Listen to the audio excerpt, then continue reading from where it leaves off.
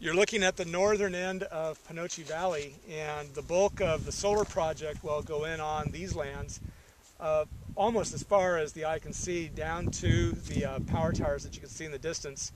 About 4,700 acres, uh, though the plan's in flux, I think. Panoche Valley um, is bounded by the Panoche Hills in the north and the Griswold and Tumey Hills and by the southern coast ranges. And the thing that stands out about you about Panoche is uh, it's arid, it's experiencing a grazing regime that makes it a very uh, short grass, bare ground landscape.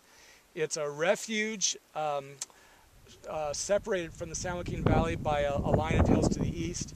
And it seems to have a certain set of qualities that we don't completely understand that make it perfect for a suite of endangered species um, endemic to the San Joaquin Valley. And uh, it's, we, we call it a, a very uh, critical refuge for those species. And now just map out the panel footprint for me.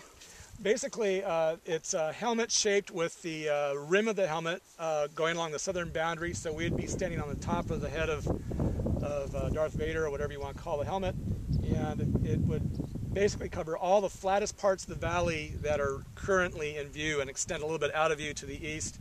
And there's a strip of flat valley that's south of those power towers down there uh, that would not be developed, but essentially everything that you see would be solar panels.